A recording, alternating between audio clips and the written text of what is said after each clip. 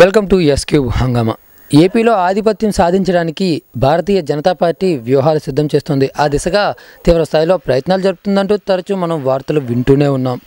అయితే ఈ క్రమంలోనే వైసీపీ నుంచి కొందరు నేతలైతే బీజేపీలో చేరడానికి సిద్ధంగా ఉన్నారంటూ గుసగుసలు లేకపోలేదు.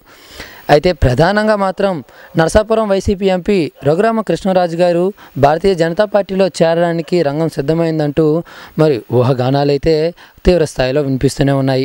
అయితే ఈ విషయంపై తాజాగా స్వయంగా రఘురామ కృష్ణరాజు గారే స్పందించి నేను బీజేపీలో చేరడం లేదంటూ స్పష్టం చేశారు.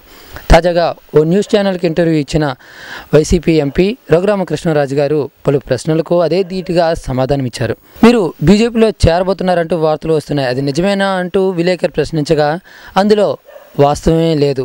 అదంతా కేవలం కల్పితం మాత్రమే. నేను బీజేపీలో చేరదలుచుకోలేదు. బీజేపీలో చేరాల్సిన అవసరం నాకు లేదు. వైసీపీలోనే కంటిన్యూ అవుతాను. వైసీపీలో నాకంటూ సముచిత గౌరవం ఉంది. జగన్మోహన్ రెడ్డికి నాకు మధ్య మంచి సాన్నిహిత్యమే నెలకొందంటూ రఘురామకృష్ణరాజు గారు సమాధానం ఇచ్చారు ఇక అదేవిధంగా కేవలం ఒక్కసారి ఎంపీగా గెలిచిన మీకు parliamentary standing committee on subordinate legislation chairman పదవి ఎలా దక్కిందంటూ విలేకరు ప్రశ్నించగా ముఖ్యమంత్రి జగన్మోహన్ రెడ్డి గారు సిఫార్సు చేశారు కాబట్టే నాకు ఈ అరుదైన పదవి దక్కిందంటూ సమాధానం ఇచ్చారు ఇక ఈ తరుణంలోనే రాజుగారు ఎలా ఉన్నారంటూ ప్రధాని నరేంద్ర మోడీ గారు ఆప్యాయంగా మిమ్మల్ని పలకరిస్తుంటారు.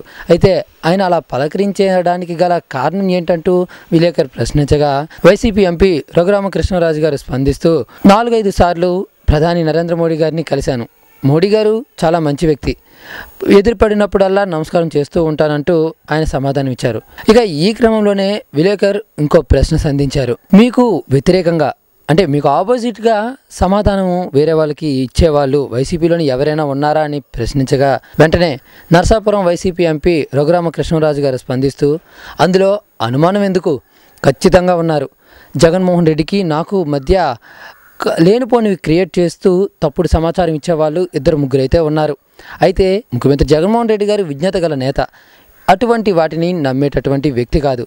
అయితే ఇద్దరు ముగ్గురు వ్యక్తులు ఉన్నా కూడా వారిని మేము దూరంగానే ఉంచుతామంటూ మరి నరసాపురం వైసీపీ ఎంపీ రఘురామకృష్ణరాజు గారు అయితే విలేకరు అడిగిన ప్రశ్నలకు అంతే ధీటుగా సమాధానం ఇచ్చారు. ఏదేమైనప్పటికీ తాజాగా ఇంటర్వ్యూలో వైసీపీ ఎంపీ రఘురామ కృష్ణరాజు గారు చేసిన ఈ వ్యాఖ్యలు రాజకీయంగా సంచలనం రేపుతున్నాయనే చెప్పుకోవాలి. ఈ వీడియో నచ్చితే లైక్ చేయండి అందరికీ రీచ్ అయ్యేలా షేర్ చేయండి. దీనిపై మీ యొక్క విలువైన అభిప్రాయాన్ని కామెంట్ రూపంలో తెలియపరచండి. ఇలాంటి మరెన్నో ఇంట్రెస్టింగ్ అండ్ లేటెస్ట్ అప్డేట్స్ను మీకు అందించే మా ఎస్క్యూబ్ హంగామా ఛానల్ను సబ్స్క్రైబ్ చేయడం మర్చిపోకండి.